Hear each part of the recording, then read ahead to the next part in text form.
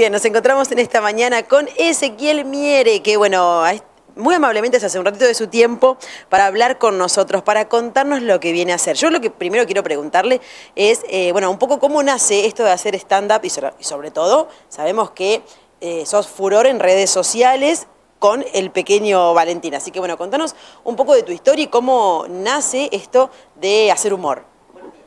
Buenos días. Bueno, no, gracias a ustedes por su tiempo. En realidad, de muy chiquito eh, fui muy aficionado al, arte escénico, eh, a la cuestión audiovisual, estudié cine, literatura, hice teatro. Eh, más de, laburé toda la vida de esto, a veces detrás de escena, guionando o dirigiendo o delante actuando. Este, con, el nacimiento de, las redes sociales, Facebook, después Instagram, bueno, después las distintas, los distintos canales, TikTok, YouTube, etc., em, eh, voy, em, empiezo a, subir cierto material para promocionar mi, laburo y, y, acá estamos. En el medio de eso nace mi hijo, mi hijo decide que quiere hacer lo mismo que yo. Em, y bueno, también armamos un canal humorístico con él, digamos, eh, que básicamente es una consecuencia de verme a mí escribir, actuar, ensayar y presentarme todo el tiempo. Básicamente siempre me gustó eh, el, teatro en general, escribir en general, eh, y también me resultó también práctico hacer stand-up. por una cuestión económica era mucho más sencillo producir un show de stand-up eh, que una obra de teatro, con una apuesta, con una serie de actores. Este, me encanta el teatro, pero bueno, empecé, por el, eh, empecé profesionalmente, digamos, por el stand-up, a vivir del stand-up, eh, primero por la cuestión económica, después obviamente uno se va encariñando y se enamora de lo que hace. Exacto. Bueno, Ezequiel, tenemos que decir también que, por lo visto, el pequeño Valentín sigue tus pasos y lo hace de manera impecable. Ahora tenemos que decir que vas a estar en nuestra ciudad sin él. Sí, esta es la parte que todo el mundo dice, ah, en casa. Sí, eh, le, eh, pasa lo siguiente con Valentín. Eh, a mí me encanta actuar con él, a él le encanta actuar, especialmente en vivo, pero las prioridades siempre van a ser la, escuela, primero que todo. Entonces, este año tuvo una carga horaria muy fuerte con la escuela, que, que superaba a veces las seis horas de clase por día y no lo quiero votar. Él siempre está con esto de hacer todo y, bueno, no solamente hace teatro, también va al gimnasio, hace piano, hace guitarra y sigue haciendo videos, pero me parecía que más allá que él tenga ganas, no quiero que lo termine odiando a esto. Entonces, eh, era una responsabilidad que no, no, le podíamos dar, porque más allá de que sea divertido, también son horas de ensayo, son momentos de viaje, eh, son eh, horas en las que él no va a tener la cabeza puesta en hacer una tarea, en estudiar para una prueba, y también tiene que tener, como todo niño, tiempo puramente de ocio. Yo le digo que es muy importante estar tener su momento para correr en el patio, para estar acostado en la cama mirando el techo, despejarse la cabeza y eh, una rutina tan frenética, por lo menos a la edad de él, no, no sé si está bueno. Eh, yo como padre, por lo menos en ese sentido, trato de cuidarlo de eso, que no se agote. Bueno, y nos encanta, nos encanta que sea así, porque sabemos que, tiene que ser así, solamente para, sobre, todo para un niño tan, chico. Eh, bueno, Ezequiel, contanos sobre eh, cuáles van a ser tus presentaciones aquí en nuestra ciudad, cuándo vamos a poder disfrutar de este stand-up, qué días, horarios y en qué lugar. Bueno, nosotros vamos a estar en... Nosotros digo siempre nosotros, hablo en plural por el, porque está la producción también, que, de hecho eh, somos un equipo, nada más que solamente me ven a mí en el escenario, entonces confundo un poco. Eh, mi productora me dice siempre, che, decí que sos vos, porque si no piensa que va con un grupo de gente. No, soy yo, pero hay gente atrás. Eh, nosotros vamos a estar en Club Sport el viernes y el sábado a las 21 horas.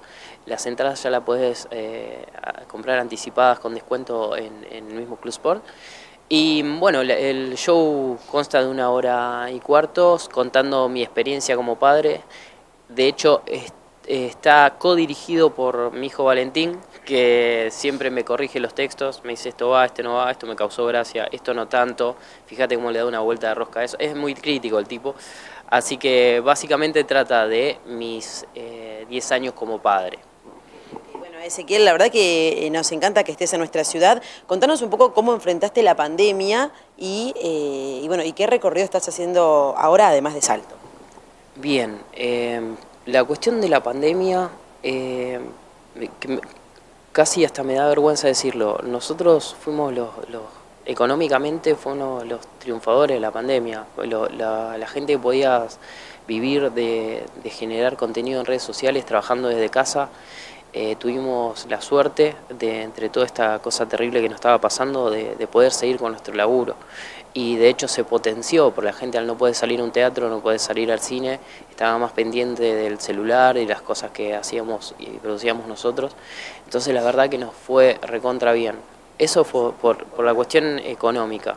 Después también, eh, también acá me tengo que morder la lengua, pero la verdad que fue, eh, para mí estuvo buenísimo poder educar a mi hijo en mi casa. Em, soy, soy, apoyo mucho a la escuela pública, este, pero también eh, me doy cuenta de que en el sistema en el que estamos es mucho eh, que obliga al padre a estar 8, 10, 12 horas fuera de casa sin darle el tiempo que necesita a su hijo y yo poder dármelo, eh, tenerlo y poder compartir con él, el pibe aprende de otra manera. Entonces para mí eh, más allá que, que, me encanta enseñar, esos dos años, estoy hablando de lo lindo, hubieron cosas muy malas, chicos, eh, pero esos dos años, la experiencia de enseñarle a mi, en mi casa Valentín, sí, de, la manera que yo quería y también apostando a, los intereses de él, eh, fue muy grata, aprendí un montón también. Estamos actuando mucho en Rosario y en Buenos Aires, también más que nada en, Capital, eh, venimos de caseros, eh, eh, estuvimos en... bueno, antes de la pandemia habíamos estado en Chaco, habíamos estado en Santa Fe, em, ahora en Rojas estuvimos y todavía no sabemos a dónde vamos a seguir. Sé que vamos a volver a Rosario, de hecho estamos actuando todos los meses allá, pero eh, también estamos abriendo un poco. Puede ser Córdoba, puede ser, eh, bueno, el interior de Buenos Aires, eh, seguro, pero exactamente no, no sé a dónde vamos. Lo, bueno es esto, ¿no? Que hay mucho para hacer, que hay mucho por recorrer y que, bueno, has trabajado muchísimo, no solamente ahora, sino también en pandemia, que la verdad que, bueno, nos alegra muchísimo eso también. bueno, ese, te agradecemos, te deseamos lo mejor para estas funciones y volver a reiterar entonces, horario, días y lugar eh, para las funciones de stand-up? Bueno, vamos a estar, voy a estar el viernes y el sábado en Club Sport a las 21 horas. Si querés reservar tu entrada con descuento, puedes ir a Club Sport, a la Secretaría y comprarla ahí. Eh, y bueno, agradezco a la gente que, nos, apoyó, que nos dio una mano cuando llegamos a, la, dirección de Club Sport. Eh, a la cooperativa, bueno, a Cenograph, a, Boutique de las Tentaciones, eh, ni hablar a, a Jessy Maura, mi productora. Que bueno, gracias a todos y gracias a ustedes, gracias a ustedes por el, por el tiempo acá.